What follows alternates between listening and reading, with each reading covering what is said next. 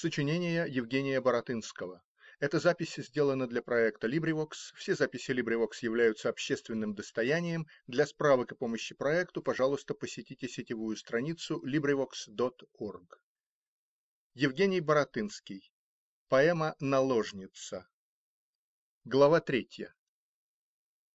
Вседневно нашему герою усердный карлик намекал, Где, вероятно, встреча с тою, к которой пламенной мечтою он непрестанно улетал, Незамечаем и неведом ходил, бродил за ней он следом В тени задумчивых дубров, прекрасных пресненских прудов, В аллеях стриженных бульвара, между красавиц городских Искал он девы дум своих не для блистательного дара Актеров наших посещал он душный театральный зал, Елецкой сцену забывая, с той ложи не сводил очей, В которой Вера Волховская сидела, изредка встречая взор, остановленный на ней.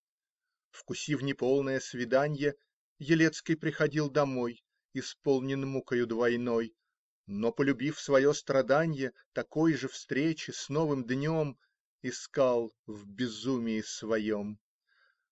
Однажды погасал, свежея, июльский день, Бульвар Тверской дремал под нисходящей мглой, Пустела длинная аллея, Царица тишины и сна, Высоко поднялась луна, Но со знакомыми своими Еще в болтливом забытье Сидела Вера на скамье. В соседстве, незамечен ими, За липой темной и густой Стоял влюбленный наш герой. Перчатку Вера уронила, Приближась, поднял он ее И подал ей. Лицо свое к нему с испугом обратила Молодая дева, разговор прервав, На нем остановила внимательный и робкий взор. Судьбу, душой своей довольной, Он и за то благодарил. Елецкой Веру поразил своей услугой своевольной, И хоть на час ее мечта Им, верно, будет занята. Что ж? И сомнительное счастье Мгновенных, бедных этих встреч Ему осеннее ненастье Не позамедлило пресечь. Покрылось небо облаками, Дождь бесконечный ливме лил, И вот мороз его сменил. Застыли воды, снег клоками На мостовую повалил. Пришла зима. Свистя крутится метель на пресненских прудах. На обнаженных деревах бульвара иней серебрится. Там, где недавнею порой Гуляли грации толпой, Какой-нибудь жандарм усатый, Шагая, шпорами стучит. С метлой стоит мужик бородатый, Иль школьник с сумкою бежит. Театр? И тот в разладе этом Забыт для балов модным светом. Елецкой сердцем унывал, Но в зимний холод, как и летом, Проворный карлик не дремал. Донес он нашему герою, Что Вера едет в маскарад, К таким-то. Ожил он душою. "Спасибо", молвил, "крайне рад". Елецкий незван. Что за горе? На то и маска. Веру вскоре увидит он, и почему С ней в безымянном разговоре Не познакомиться ему? И вот уж вечер маскарада Им ожидаемый настал. Москва ли тешится не рада? Кипит народом светлый зал, Живая музыка играет, В лад упоительным смычкам Кадрили вьются здесь и там, Кругом, волнуясь, мелькает Толпа гуляющих гостей, И половина их большая, Наряд привычный соблюдая, Тем выдает еще живей Бродящих рыцарей, шаманов, И арлекинов, и брахманов, Диан, весталок, флор и фей, Народов всех веков и наций, Их мучит бес мистификаций, Но не выходит хитрых фраз. Я знаю вас. Я знаю вас. Здоровы ли вы? Для продолжения недостает воображения. Признаться надобно, не нам, сугробов северных сынам, приноравляться к детям юга. Метелей дух не создал нас для их блистательных проказ. К чему неловкая натуга? Смеются наши образцы. Живых не дразнят мертвецы. Скрывать лицо под маской душной, как ведает читатель мой, нельзя девице молодой, закону светскому послушной. И Веру милую тотчас нашел Елецкой. Этот раз на мертвеца он не походит и чуть с ума ее не сводит. От Черномора знал о ней он много этих мелочей, в которых тайны роковые девицы видят молодые. В словах, запутанных своих, он намекает ей о них, и удивление, и смущение полна, горит она лицом, и вот выходит из терпенья. Я как обманутая сном. Скажите, ради бога, кто вы? Вы любопытны, как дитя. Итак, со мною, не шутя, вы познакомиться готовы? Нежданным именем моим я испугаю вас. Как скучно. Все шутки. Я не склонен к ним и остерег вас добродушно. Я дух, и нет глуши жилья, где б я незримый не был с вами.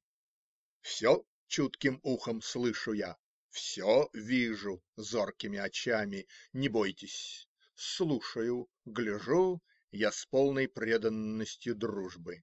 Неожидаемые службы я вам догадливо служу. Однажды перед ваши очи я в виде смертного предстал. В ту пору сумрак летней ночи мне образ видимый давал. Вы узнаете? Ваши сказки? Ну, продолжите до утра. Смотрите, все снимают маски. Снимите же свою, пора. Не мне. Оставьте попеченья, я не исполню ваш приказ. Лицо открыл бы я для вас, без выражения, без значения. Нет, нет, я вспомню веселей сей разговор непринужденный, почти нежданно уловленный счастливой маскою моей, чем взор холодного смущения, который на лицо мое вперите вы, когда ее сниму я вам из угождения. Нет, я б не мог его снести. Прощайте, я не здешний житель. В мою безвестную обитель я должен вовремя сойти. Елецкий тихо удалился, уж был у выхода, и зал совсем, казалось, покидал, но у дверей остановился еще в последнее желал взглянуть на Веру он и встретил ее невинный тихий взор, прочел в нем дружеский укор, мольбу немую в нем заметил и скинул маску. Вере зрим он был единое мгновенье. Толпа сгустилась перед ним, и он исчез, как привиденье. Глава четвертая когда из блеска жизни светской, в котором с верою своей на миг так близок был Елецкой, отшельник, снова чуждый ей, в своих стенах он очутился. Казалось грустному ему, что вновь, как узник, погрузился он в ненавистную тюрьму, из коей на одно мгновенье его исторгло сновиденье, и веры милый идеал с тех пор его воображенье еще сильнее волновал. Часы летучие мелькали, и в темном сердце заставали Все ту же думу, тот же лик. Чего надеяться могу я? Порою мыслил он, тоскуя. Нет, заглушу сердечный крик. Напрасно. О единой вере мечта в душе его жила, Одна внимаема была. Когда бы мог, по крайней мере, Свободно видеться он с ней, Как всякий светский дуралей, И предан грустному томленью, Досадой тайною язвим, Он ищет способов к сближенью, но недоволен ни одним. Мысль наконец ему блеснула, душа в нем весело вздрогнула. "Прекрасно", - шепчет. "Я решен. В театр они, сомненья нету, хоть раз поедут в зиму эту. Гей, Черномор!" Явился он. "Послушай-ка", сказал Елецкий. "Подъезд у нас точь-в-точь соседский.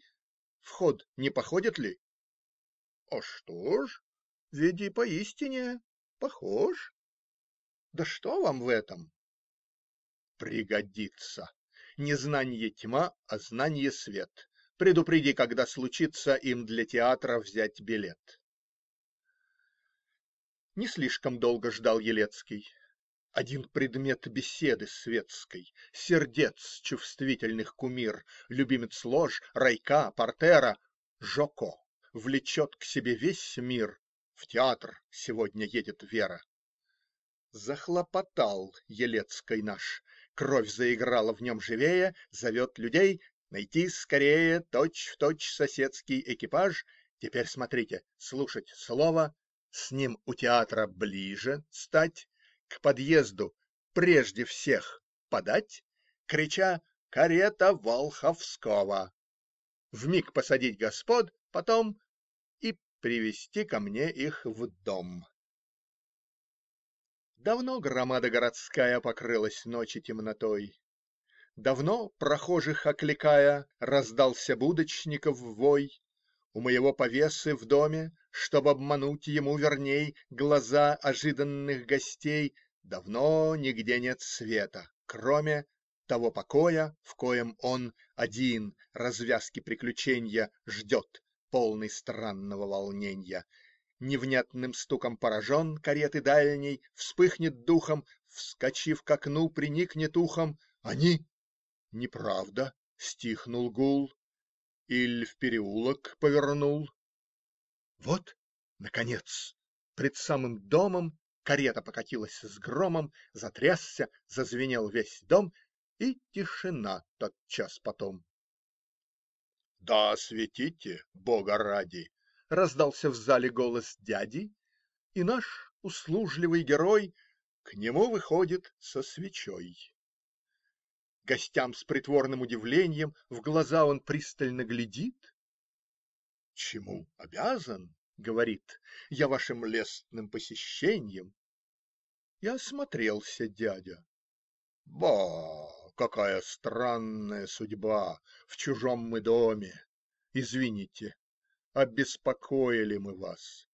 Домой уедем сей же час. Вы, негодяи, поглядите, Куда заехал с вами я? Вот славно! Странности какие! И люди у меня чужие.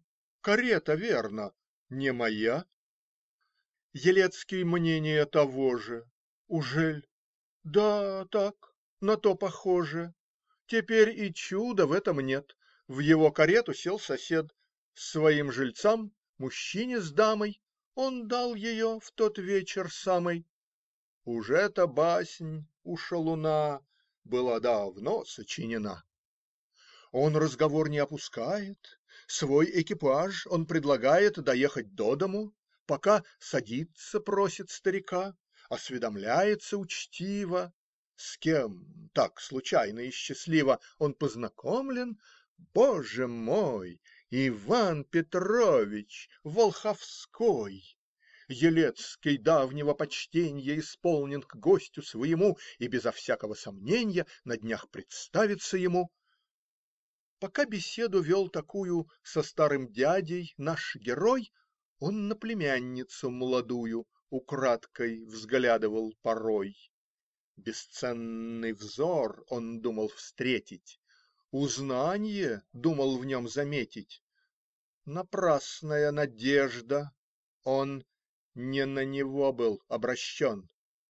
Дверь в глубине туманной зала внимание Веры привлекала. Под ярко-пурпурным платком оттуда, смуглое лицом, сверкая черными глазами, блистая белыми зубами, глядела Сара. Взоры их Какая сила сопрягала, В соображениях каких Мысль у обеих утопала? Елецкой, проводив гостей, Был вне себя от восхищенья. Ему не будет затрудненья В свиданьях с Верою своей. Зачем же способ этот странный К знакомству с ней был избран им? Иль он не мог путем другим Достигнуть цели им желанной? Зачем со светом не искал Он понемногу примиренья? Он срок желанного сближенья Надолго этим отлагал. К тому ж однажды свет оставив, Свою вражду к нему ославив, Он изменить себе краснел И вновь искать в нем не хотел.